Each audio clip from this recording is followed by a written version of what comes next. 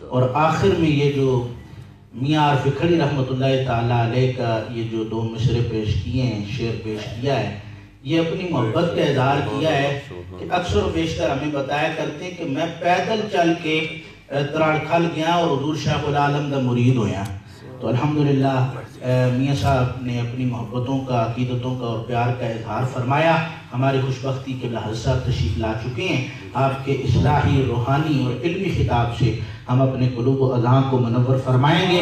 حضرت کا استقبال کریں تاکہ حضور آستانہ شریف پر بھی تشریف لے جائیں۔ تو یاد رہے کہ مرکزی جامع فاطمیہ میں آپ نے حاضری پیش کی تھی۔ نعرہ تکبیر۔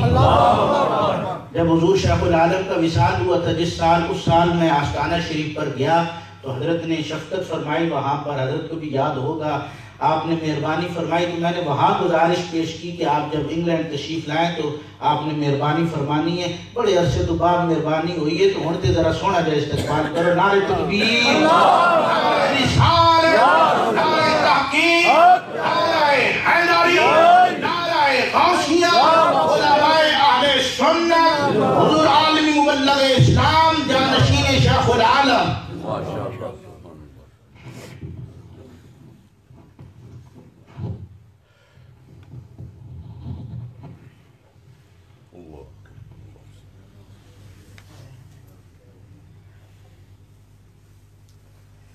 نحمده ونصلي ونسلم على رسوله الكريم، أما بعد. أعوذ بالله من الشيطان الرجيم.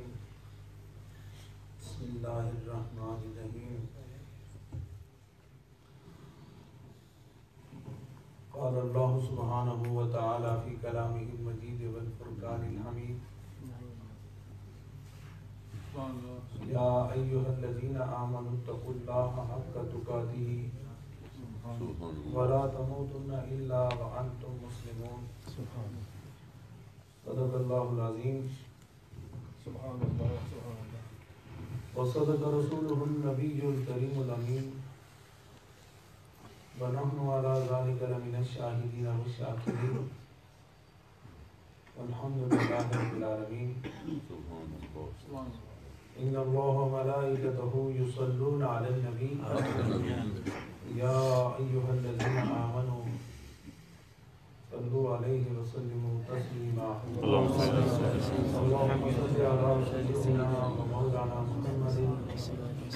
وعلى آل سيدنا ومولانا محمد وبارك وسلم عليه صلاة وسلاما عليك يا رسول الله وعلى آلك وأصحابك يا امام الاولین والآخرین۔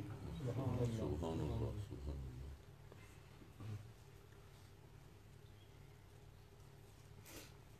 اللہ اللہ جل وعلا کا شکر ہے۔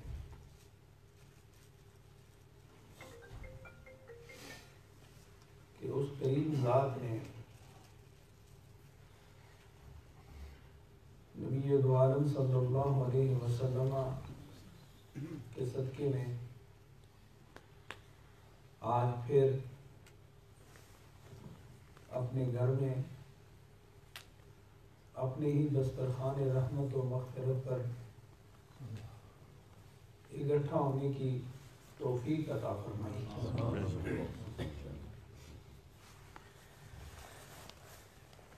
اللہ کے گھر میں آنا سجدہ ریزی کرنا۔ راز و نیاز کو خدا سے شیئر کرنا۔ یہ بندہ خدا ہونے کی دلیل ہوا کرتی ہے۔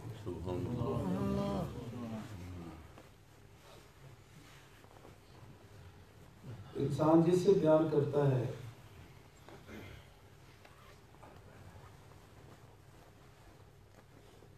اسے تمام باتیں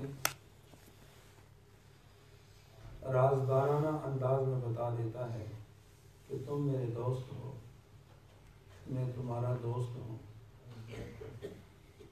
اور یہ دوستی تقوی و محبت کی بنیاد پر ہے۔ تو وہ دونوں ایک دوسرے کے ساتھ اپنے ظاہر اور اپنے باطن کی معاملات کو شیئر کرتے ہیں۔ تو جب بندہ دنیا اور دنیا کے ماحول کو پس پش ڈال کر اپنے مالک سے یاری لگاتا ہے، تو حدیث قدسی میں آتا ہے کہ میرا بندہ جب ایک بالشت دوستی اور محبت کی بنیاد پر میری طرف آتا ہے تو میں ایک ہاتھ اس کی طرف جاتا اور اگر وہ ایک ہاتھ میری طرف آتا ہے، تو میں ایک قدم اس کی طرف جاتا ہوں۔ اللہ نے مزید ارشاد فرمایا کہ اگر وہ محبت کرنے والا بندہ اسی محبت، اسی راز و نیاز کی بنیاد پر جب ایک قدم میری طرف چل کر آتا ہے آتائی تو روح ہر والتن تو پھر میری رحمت دوڑ کر اس کا استقبال میری رحمت دوڑ کر اس کا استقبال کرتی ہے۔ رات کی بڑے نصیبوں کی بات ہے کہ ہم اللہ کے گھر میں عبادت کے لیے حاضر خدمت ہے۔ اور اس دوران جتنا بھی وقت گزرتا ہے خدا کی یاد میں اس کی محبت میں خدا اس یاد کو بھی درجۂ عبادت عطا فرمائے۔ میں جس موضوع پہ تھوڑی بہت گفتگو چونکہ وقت نہیں ہے جس موضوع پر میں اظہار خیال کرنا چاہ رہا ہوں اللہ نے ارشاد فرمایا یا ایوہ الذین آمنوا اتق اللہ۔ اللہ سے ڈرو۔ اے ایمان والو، اللہ سے ڈرو۔ حق کا تقات ہی اس طرح ڈرو کہ ڈرنے کا حق ادا ہو ولا تموتن الا وانتم مسلمون۔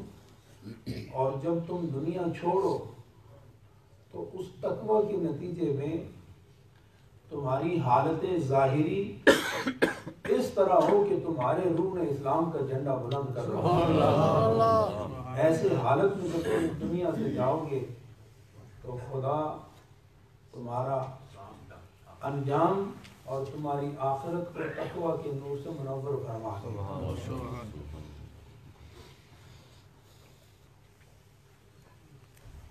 اللہ گرامی حضرت ابو اللیس سمرکندی رحمۃ اللہ تعالیٰ علیہ نے اپنی مشہور و معروف کتاب میں تقوی کی مختلف قسمیں بیان کی ہیں۔ تقوی کا معنی ڈرنا ہے۔ خوف کھانا۔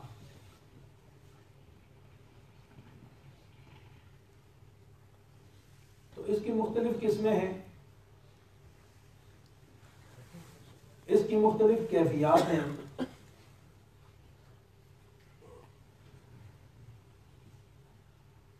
ڈرنا، خوف کھانا۔ یا تو محبت کی بنیاد پر ہے، جس کا نتیجہ جنت ہے، یا جہنم کے خوف سے خدا سے ڈرنا۔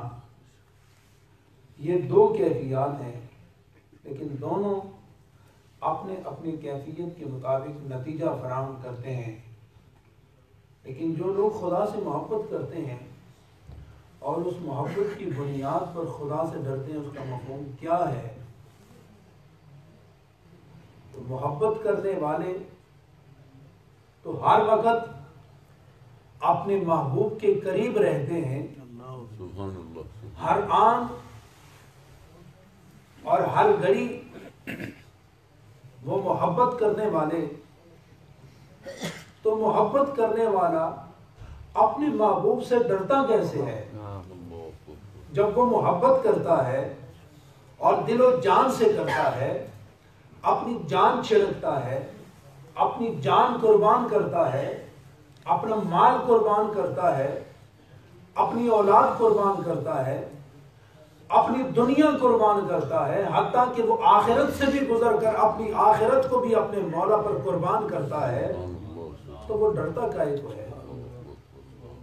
بات سمجھ آ رہی؟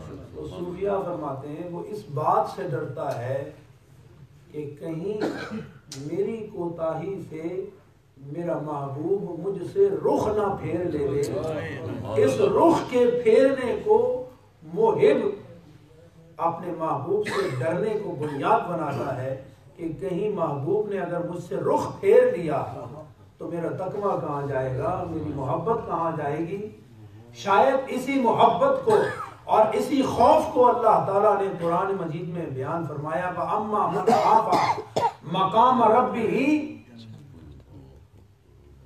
جو آدمی اپنے رب کے سامنے کھڑا ہونے سے ڈر گیا کہ میں اپنے رب کے سامنے کس طرح کھڑا ہوں گا؟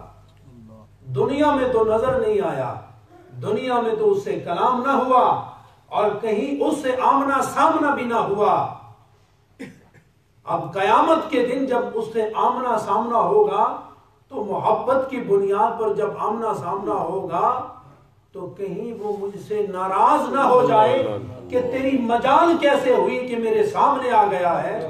تو ایسے ڈرنے والے کے متعلق میرے رب نے فرمایا ایسا ڈرنے والا چونکہ محبت کی بنیاد پر ہے اس کے علاوہ جو ڈرنے والے ہوں گے ہم اسے ایک ایک جنت دیں گے لیکن محبت کی بنیاد پر ڈرنے والے کو دو دو جنتیں ہم نعرہ تکبیر نعرہ رسالت نعرہ تحقیق نعرہ حیدری شہداد حضور شیخ العالم۔ سبحان اللہ سبحان اللہ۔ یہ جو ڈرنا ہے خدا سے نبی کریم صلی اللہ علیہ وسلم نے ارشاد فرمایا الایمان بین الخوف والرجاء ایمان، خوف اور امید کے درمیان کا نام ہے۔ ایک سائڈ پر امید ہے اور دوسری سائڈ پر خوف ہے۔ ان دونوں کے درمیان میں اللہ نے ایمان کو رکھا ہے۔ اب اگر سارا ایمان خوف پر چلا جائے تو بھی اسے ایمان کامل نہیں کہیں گے۔ اور اگر اسی طرح سارے کا سارا ایمان امید کی طرف ٹرانسفر ہو جائے تو وہ ایمان کامل نہیں ہوتا وہ ایمان ناقص بن جاتا ہے۔ ایمان کامل اس وقت ہوتا ہے کہ ایک سائڈ پر دیکھو تو تمہیں امید کی مینار نظر آئے اور دوسرے سائڈ پر دیکھو تو تمہیں خوف کا مینار نظر آئے۔ ان دونوں روشنیوں کے درمیان اللہ نے ایمان کو رکھا ہے۔ اس کو میں حضرت سیدنا صدیق اکبر رضی اللہ تعالیٰ عنہ کے اس فرمان سے واضح کروں کہ آپ نے ایک موقع پر ارشاد فرمایا کہ قیامت کے دن یہ اعلان ہو جائے کہ سب کی بخشش ہو گئی ہے سوائے ایک شخص کی۔ غور فرمائیں۔ المان بین الخوف والرجا کو سمجھانے کے لیے علماء نے اس حقیقت کو بیان کیا ہے کہ اگر قیامت کے دن یہ اعلان ہو جائے کہ تمام لوگوں کی بخشش ہو گئی ہے سوائے ایک شخص کے، تو کہتے ہیں خوف کی وجہ سے، خوف کی وجہ سے میرے دل میں یہ بات آئے گی کہ جس شخص کی بخشش نہیں ہوئی، ابو بکر وہ تم ابو بکر وہ تم اور اگر یہ منادی کرا دی جائے کہ اس عالم محشر میں کہ اولین و آخرین وہاں پر ہوں گے، ساری انسانی ضروریت وہاں پر ہوگی، اور یہ منادی کرا دی جائے کہ ہر ایک کی بخشش کو ترک کر دیا گیا ہے، صرف ایک کو معاف کیا گیا تو خدا کی رحمتوں سے امید دیکھ کر وہ شخص ابو بکر کے علاوہ کوئی اور یہی ایمان کی کیفیت ہے کہ امید ہو تو کامل ہو اور خوف ہو تو کامل خوف ہو۔ ان دونوں کے درمیان ایمان ہو تو وہ ایمان کامل سے خدا اسے منتصر فرما دیا۔ حضرات گرامی میں دس منٹ ہے میرے پاس۔ حضرت ابو اللہ سمرکندی رحمت اللہ تعالیٰ علیہ نے سات قسمیں تقوی کی بیان فرمائی ہیں۔ میں ان میں سے ایک کو بیان کرنا چاہوں گا۔ اور وہ ایسا ہے کہ ہمارے روزمرہ معمولات میں شامل ہے عقل حلال۔ اللہ سبحان اللہ سبحان عقل حلال یعنی حرام سے بچنا۔ حلال کو اختیار کرنا یہ بھی تقوی کی ایک صورت سبحان اللہ انسان کمائے حلال کمائے روزی کمائے حلال کمائے لقمہ کمائے حلال کمائے اور وہ لقمائے حلال اور رزق حلال جب اس کے بدن میں داخل ہوتا ہے تو جب وہ حلال ہوتا ہے تو سجدہ ایک کرتا ہے ہزار سجدوں سے سبحان اللہ وہ ایک سجدہ جسے تو گرا سمجھتا ہے دیتا ہے بندے کو ہزار سجدوں سے نجات لیکن شرط یہ ہے کہ وہ سجدہ حلال روزی کے نتیجے میں ہوا۔ حضرات گرانی آگے آگے۔ سرکار دو عالم صلی اللہ علیہ وسلم نے ارشاد فرمایا، من اکلا لقمت الحرام جس نے حرام لقمہ کھایا لعن علیہم الملائکۃ من السماوات والارض۔ مکاشفت القلوب کی یہ روایت ہے، سرکار دو عالم صلی اللہ علیہ وسلم نے ارشاد فرمایا کہ جو حرام لقمہ کھائے حرام لقمہ۔ تو جو فرشتے آسمانوں میں ہیں اور جو فرشتے زمینوں میں ہیں، عرش سے لے کر فرش تک اس درمیان میں رہنے والے جتنے فرشتے ہیں، اللہ کے وہ سارے فرشتے لقمہ حرام کھانے والے پر لانت کرتے رہتے ہیں۔ اس کے پیٹ میں ایسی چیز چلی گئی جو براہ راست اس کو دوزخ لے کر جائے گی۔ اور میرے نبی نے ارشاد فرمایا کہ جس کے پیٹ میں حلال کا نہیں بلکہ حرام لقمہ چلا جائے تو جب تک وہ لقمہ اس کے پیٹ میں اس کے خون میں رہتا ہے اس وقت تک اس کی کوئی دعا قبول نہیں ہوتی۔ اور فرمائے مطلب ہے یہ رزق حلال اتنا اہم مسئلہ ہے کہ جو یہ نہ کما سکے حلال حلال روزی حلال لقمہ نہ کما سکے اور ساری زندگی حرام کماتا رہے، وہ ہزار سجدے کرتا رہے، وہ ہزار عبادت کرتا رہے، خدا اس کی عبادت کو اس لیے قبول نہیں کرتا کہ اس کے اندر حرام داخل ہو گیا اور جس کے بھی اندر حرام داخل ہو جائے، اس کے سر سے سرزد ہونے والا عمل، اس کی آنکھوں سے سرزد ہونے والا عمل، اس کے قدم جہاں جہاں جائیں گے اس کے دست و پا سے جو عمل سرزد ہوگا، اس کے نتیجے میں وہ بھی حرام ہوگا۔ اس لیے حضرات گرامی، اس پر علماء کرام اور خود شارع اسلام نے لقمہ حلال کمانے پر بہت زور دیا ہے۔ ویسے تو نہیں فرمایا، ایک حبشی و نسل کالے رنگت والے کو سرکار دو عالم صلی اللہ علیہ وسلم نے ملاقات فرمائی، تو اس کے ہاتھ بڑے سخت۔ اللہ۔ تو آپ نے پوچھا ہاتھ تمہارے اتنے سخت کیوں ہیں؟ تو عرض کہنے لگے یا رسول اللہ، صبح سے لے کر شام تک مزدوری کرتا ہوں، اپنا بھی پیٹ پالتا ہوں، اپنے بچوں کا پیٹ بھی پالتا ہوں، اپنے ماں اور باپ کا پیٹ بھی پالتا ہوں، اور لقمہ حلال کھلاتا ہوں، حرام نہیں کھلاتا۔ تو اللہ کے رسول نے اس کے ہاتھوں کا بوسہ لیا اور آپ نے ارشاد فرمایا القا سے وہ حبیب اللہ۔ جو حلال طریقے سے رزق کماتا ہے وہ خدا کا حبیب ہوتا ہے۔ خدا بھی اس سے پیار کرتا ہے مصطفیٰ بھی اس سے پیار کرتا ہے۔ گرامی حضرت جنید بغدادی رضی اللہ تعالیٰ بہت بڑے بزرگ گزرے ہیں۔ اور یہ غوث اعظم سے پہلے کے بزرگ ہیں۔ آپ فرماتے ہیں کہ میں اپنے گھر میں موجود تھا۔ ذرا غور فرمائیے گا درویشوں کا عمل اور درویشوں کا طائر فکر کہاں کہاں برباد پرواز کرتا ہے اور کتنی بلندی پر جا کر وہ پرواز کرتا ہے۔ فرماتے ہیں میں اپنے گھر میں موجود تھا۔ تو میں نے دروازہ کھولا۔ تو کیا دیکھتا ہوں میرا استاد؟ جس سے میں نے تعلیم حاصل کی، جس سے میں نے حاصل کی، جس سے قرآن پڑھا۔ تفسیر پڑھی، حدیث پڑھی اور تمام علوم متداولہ جس شخصیت سے پڑھی۔ تو وہ میرے گھر کے سامنے سے ایسے گزر رہے، لیکن ان کے وجود میں لڑ کھڑاٹ ہے۔ کبھی ایک طرف جاتے ہیں، کبھی دوسری طرف جاتے ہیں اور ایسا محسوس ہوتا ہے کہ ابھی گر جائیں۔ فرماتے ہیں میں دوڑ کے آگے گیا، ان کے بازو سے پکڑا۔ تو میں نے کہا، حضور، آپ کا شاگرد جنید ہو۔ آپ میرے گھر کے سامنے سے گزر رہے ہیں۔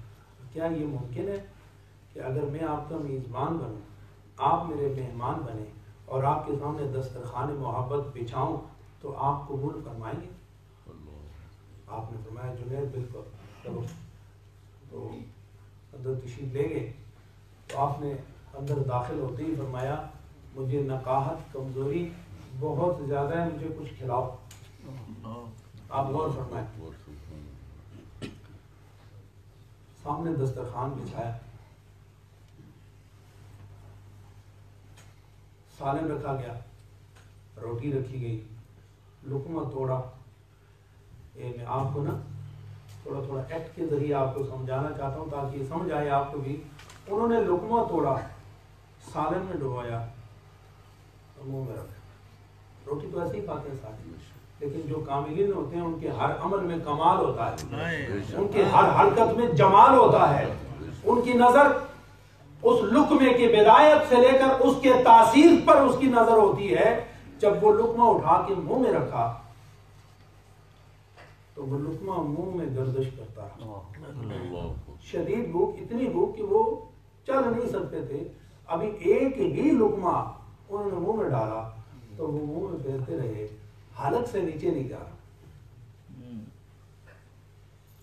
پانچ منٹ انہوں نے پھیرا ہوگا جب نیچے نہ گیا تو منہ میں دیکھ ہاتھ میں دیکھ واپس دسترخوان پہ رکھا۔